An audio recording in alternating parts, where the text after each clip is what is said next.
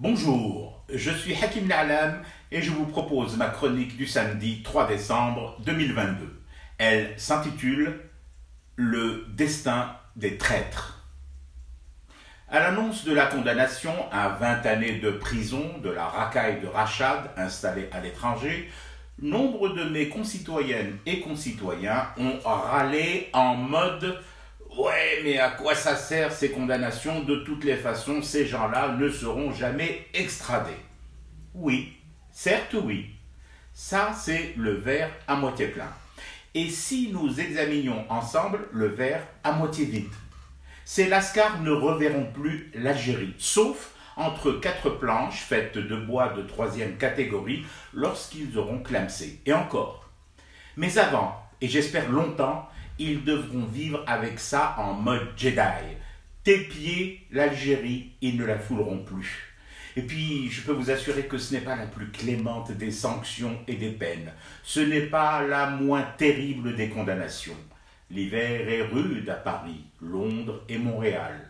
Oh, ici, ce n'est pas le paradis, bien sûr. Ce n'est pas cette société de consommation effrénée, de services performants. Ce n'est pas tout ça et un tas d'autres choses encore.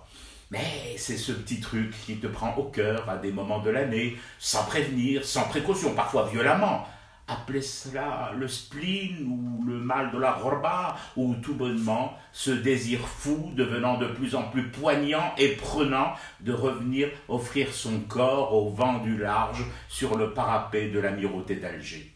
Demandez à nos sœurs et frères vivant à l'étranger avec quelle impatience les vacances au pays sont attendues et espérées. Le bled, quoi. Eh ben mes cocos, c'est ce bled dont vous ne humerez plus les odeurs bonnes ou mauvaises.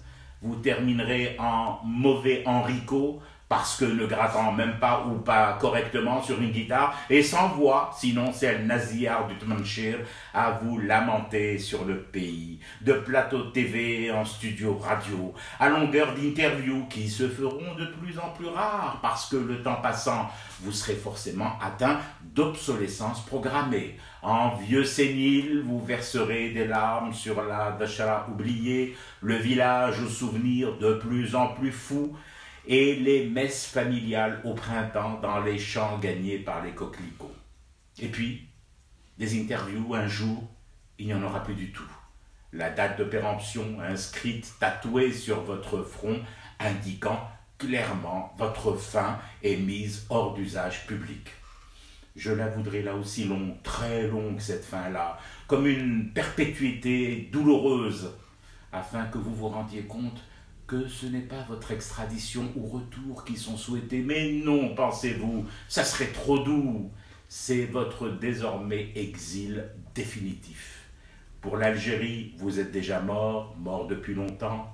Pour les services étrangers qui vous ont utilisé, vous n'avez jamais vraiment existé. Je fume du thé et je reste éveillé. Le cauchemar continue.